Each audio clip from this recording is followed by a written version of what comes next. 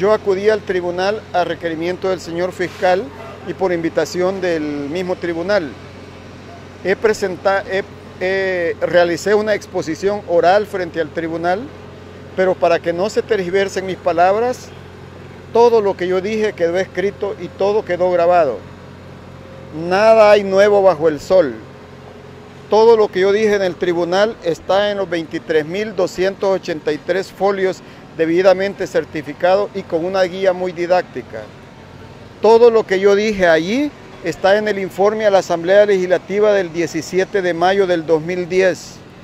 Todo lo que yo, eh, todo lo que yo presenté frente al tribunal está en el escrito que yo presenté al señor fiscal Barahona el 24 de mayo del año 2010.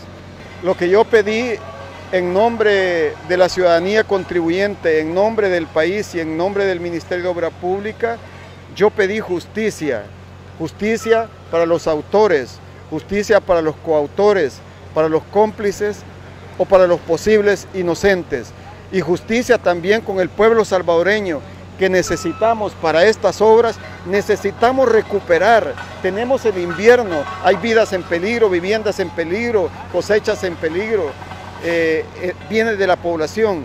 Necesitamos recuperar los fondos que se llevaron.